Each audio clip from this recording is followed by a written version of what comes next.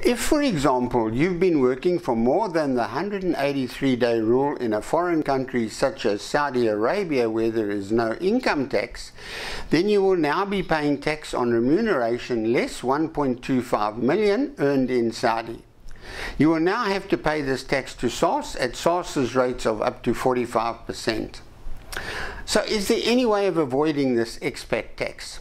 As far as SARS is concerned, you cannot just abandon your tax status in South Africa, apply for residency in another country, and blissfully work overseas without following the proper procedures to cut ties with SARS and leave South Africa. SARS has several means tests to decide if a taxpayer has ties to the SA tax system or not.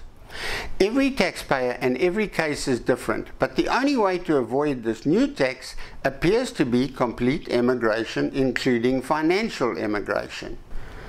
Financial emigration may not guarantee that you will be free from SARS, but it certainly strengthens your case.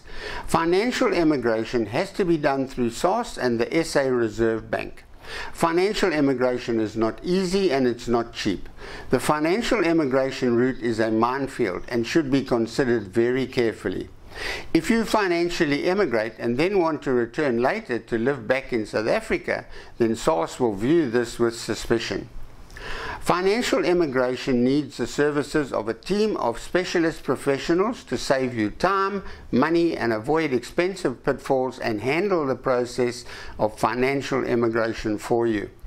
Everyone is entitled to move a certain amount of money overseas, but if you need help with financial immigration, or even if you need help getting permission to move extra money to offshore investments, to opening foreign bank accounts for you, then please feel free to contact me and I will refer you to totally reputable people who are experts in these fields and importantly, experts in negotiating the best conversion rates for you. These are people that I personally have known and dealt with for over 20 years.